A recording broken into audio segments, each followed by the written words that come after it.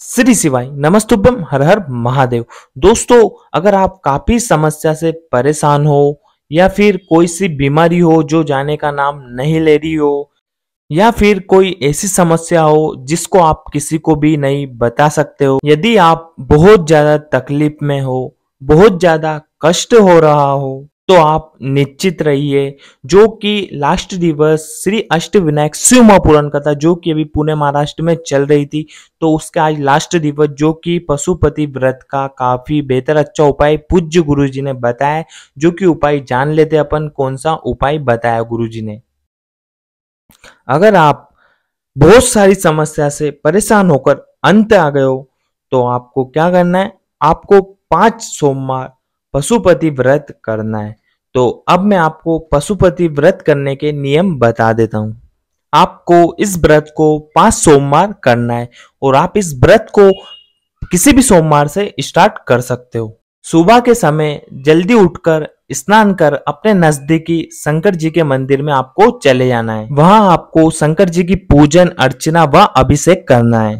जिस थाली को आप सुबह मंदिर में पूजन करने के लिए लेकर गए थे, उसी थाली को घर पर लाकर रख दीजिए। और आपको सुबह के समय फरियाल वगैरह कर लेना है, और अगर आप मीठे में फल फ्रूट वगैरह कुछ खाना चाहते हो तो आपको खा लेना है।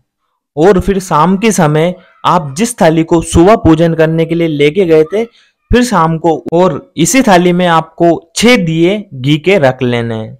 और साथ में आपको कुछ मीठा बनाकर ले जाना है भोग के लिए।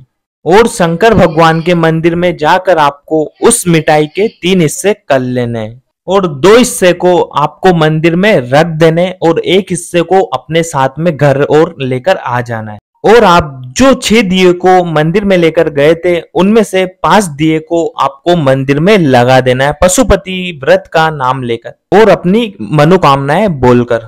और जो एक दिया बचा है, उसको अपने साथ में घर की ओर लेकर आ जाइए। और आपको घर में प्रवेश करते समय सीधे हाथ की ओर उस दिए को दरवाजे के पास में लगा दीजिए। और जब आप घर के अंदर आ जाओ, फिर आप भोजन करो। उस टाइम आपको जो प्रसाद आप मंदिर से लेकर आए हो, उस प्रसाद से आपका व्रत खोलना है। इसे कहते हैं पशुपति व्रत। इस व्रत को आपको पाँच सोमवार करने से आपकी सारी मनोकामनाएँ पूर्ण हो जाती है। इस पाँच सोमवार व्रत करने से आपके सारे दुख, तकलीफ़ और परेशानियाँ सब दूर हो जाएँगी। तो आई होप कि आपको ये पशुपति व्रत का विधि समझ में आया होगा। तो अगर आपको ये पशुपति व्रत करना है तो आप इस तरह से इस पशुपति व्रत को कर सकते हो। तो पूज्य पंडित प्रदीप जी मिश्रा जी ने काफ़ी बेहतर अच्छा उपाय बताया। तो दोस्तों, अगर आपको ये वीडियो अच्छी लगे तो वीडियो को लाइक कर दीजिए और चैनल पे आप नए हो तो रेड बटन के आइकन को भी सब्सक्राइब कर दीजिए ताकि आप तक ऐसी वीडियो पहुँचते रहे। तो श्री शिवाय नमस्तुभ्यम, हर हर महादेव।